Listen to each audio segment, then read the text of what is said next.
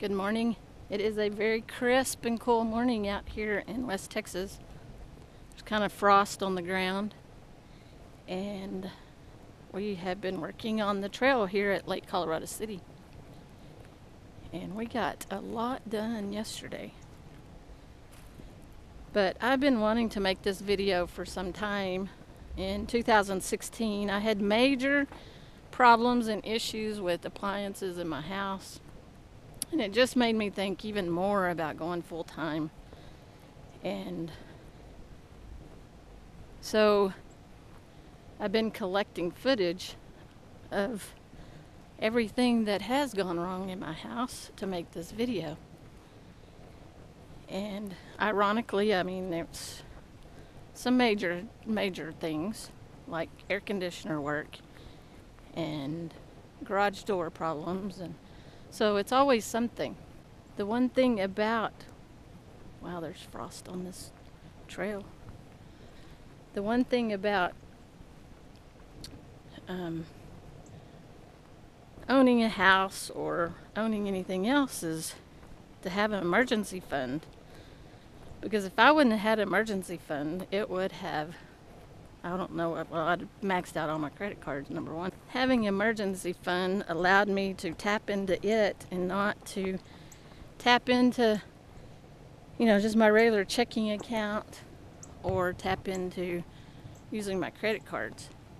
I'm a big advocate for Dave Ramsey and what his ideology is on having no debt and paying off your credit cards and you know, so this got me to thinking about all the footage I had taken about all the appliances and things that broke in my house last year.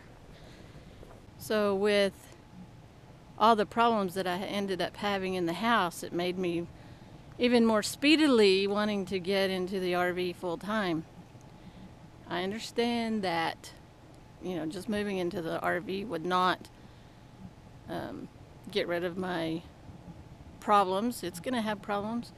It's going to have maintenance. Things are going to break down, but that's the point of always having an emergency fund. Even when you're in the RV full time, you need to have an emergency fund. I compiled this list of everything that went wrong in 2016. So this is several reasons why to sell your house and move into the RV full time.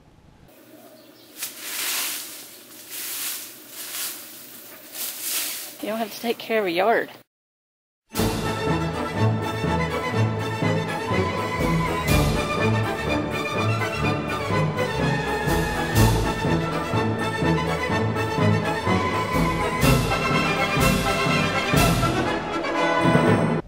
And here's another reason to sell your house and move into an RV. This was probably purchased, look at the green, probably purchased back in the 70s. The belts are broke and getting belts or something not really easy to get for these. And then the little assemblies broke and this one is going to the trash. I'll show you what I got. Okay, so this is what I got. A Bissell Power Force bagless vacuum. I just hate that I have to buy a new vacuum cleaner um, for this house. Number three reason to sell your house and move into an RV full time. Where did that come from? Somebody's building a nest. Oh, maybe he's in there.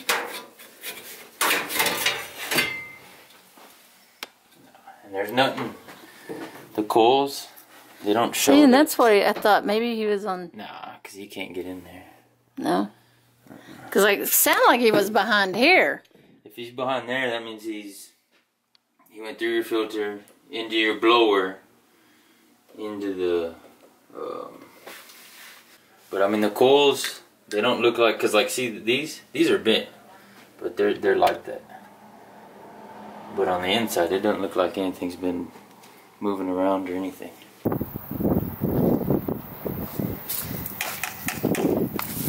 Okay I have a clogged air conditioner. Oh my gosh yeah that works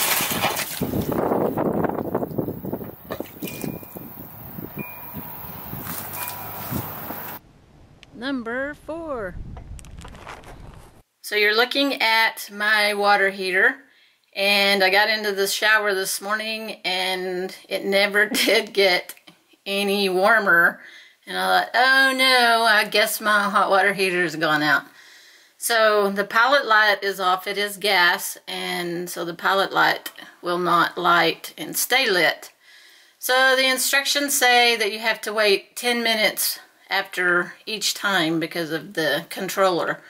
So this will be my third time to try to light it. And you have to wait to see, there's a status light here and it should be blinking green. And now I'm filming and my bird's gonna start talking. This always happens. I guess because he hears my voice and he's gonna talk back.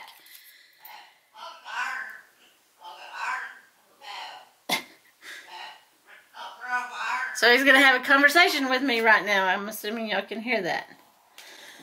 So anyway, I'm gonna put this on pilot. And push this in and then you push this button and in within 30 or 90 seconds this is supposed to blink green. And I've yet to see any lights any green or red or any color so. Number five reason to sell your house and move into an RV my garage door opener the chain broke today as you can see it's broken. So they don't have one that fixes this rail here um, so you have to replace that, the whole uh, motor and everything for the rail. Oh look, it looks like they installed it in 2000, so 16 years, that's not bad.